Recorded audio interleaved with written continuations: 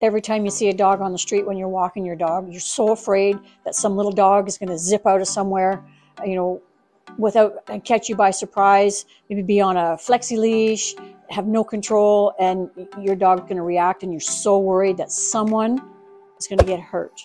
You, the other dog, or your dog.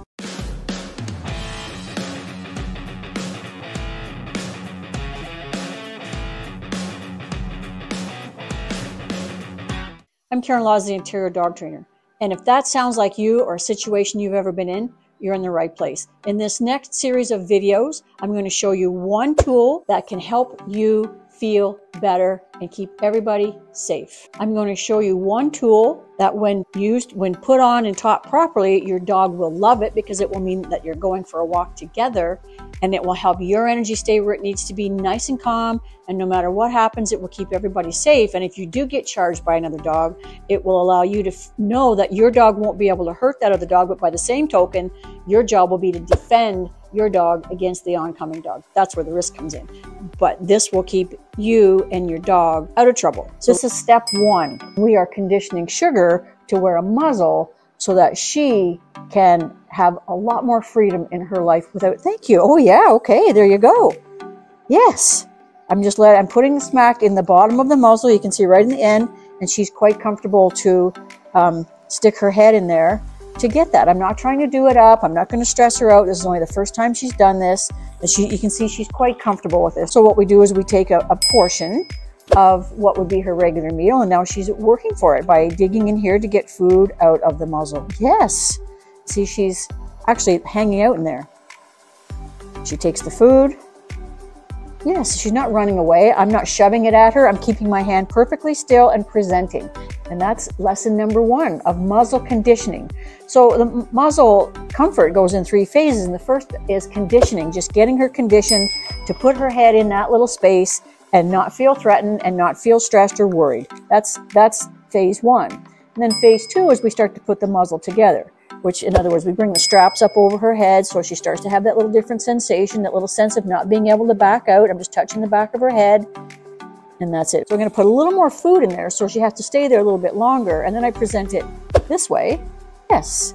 Then I just bring the straps up here on her head and I just hold it there. Yes. So now it doesn't come off right away and she can't pull out of it, but I don't wait until she's trying to pull out of it. Yes, then I let her back out. So put a little bit more food there so she has to hang out. This is step two. We haven't done it up yet. We're just teaching her how it's going to feel when it does get done up. Whoa, now she's just diving right into it. That's a good girl. Hey? Yeah. Good job. Yeah. I'm not interfering. I'm just holding the strap so she feels a little bit of tension there. These are super comfortable muzzles for them. You can see how it goes under her chin and up under her ear. This is not coming off. So you do this two or three times a day, no more than like five minutes. And that's it. And this is part of her regular meal, whether it's her lunch or breakfast or dinner. This is actually part of her dinner. This is the third step, and only the second time we've done this third step. Oh, we like that now, eh? Yeah, that's good. So see, would I correct for that jumping? No, because I don't want to confuse the issue. I want her to want this. So I'm not going to, I'm not even going to pay attention to the jumping. She's not a jumper anyway, so I know that was just like a hurry up. Can I have that now? You ready? Let's get dressed. Let her move into it. Good girl.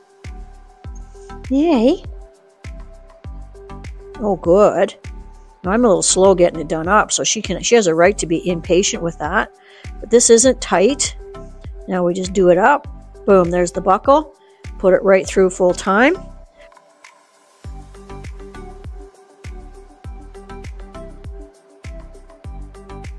That's a good girl. Nice. So that was maybe 10 seconds. This time we'll time it. Oh, you're so good. Yes. This time we'll time it. Yeah. Get dressed. That's a girl. Now I'm going to be a little quicker. Hands off. Stand up straight. Oh, so pretty. So pretty. Very good. Such a good girl. Ah, ah, ah, ah. Look, look. Yes. That's so good. Very good girl. And I'm looking up, up I'm looking at the clock. Hey, hey, hey. Nope. Sit. Nice. Good job. I'm going to hold it there. Let her be comfortable. Good girl. It's all right. Easy, easy. That's a girl. That was like 20 seconds. Come to where you want to get dressed. There you go. See, she's got to really step into it. And I just put the put the strap through and hold it. Five seconds. Good job. Good job. Yay. So she gets all the praise and all the massage and all the touch, everything that she likes, including the treat, when the muzzle is on her.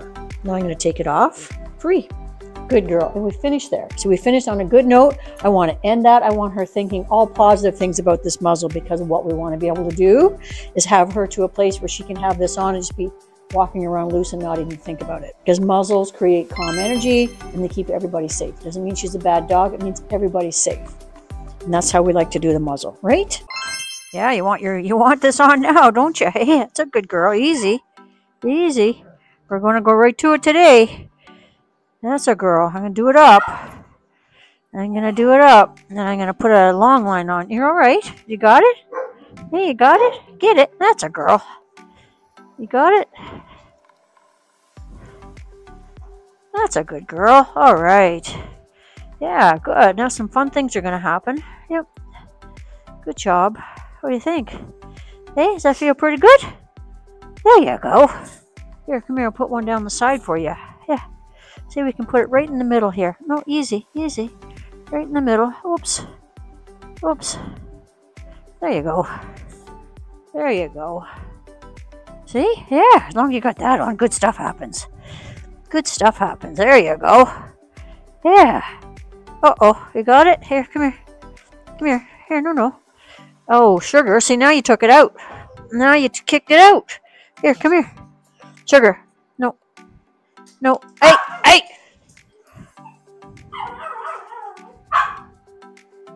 See? If this isn't going to work, then she's got to go. You got to go back up. That's a girl. Come on over here. Come on, that's a girl. Come on, sugar, come. Yay. No, sit. Yeah. Josie's not helping, is she, eh? There you go. You don't need knee collar on. You don't need nothing. We're just going to put a long line on for safety, okay? Yeah, you're a good girl. You're a good girl. Okay. No, no, no. That's a girl. Good. You want to go in the backyard? Hey? Come on. Go in the backyard. There you go.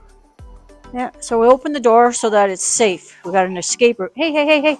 Hey, hey, sugar. Come on. Let's see. We're just reading some body language here. Yeah, see? Move. That's a girl. No, leave that on. You can't come off. Okay, let's go.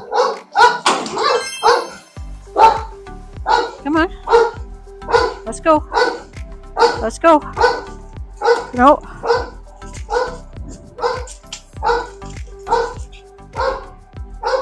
Nice. Nice. That's a good girl. Easy. Easy. That's a good girl.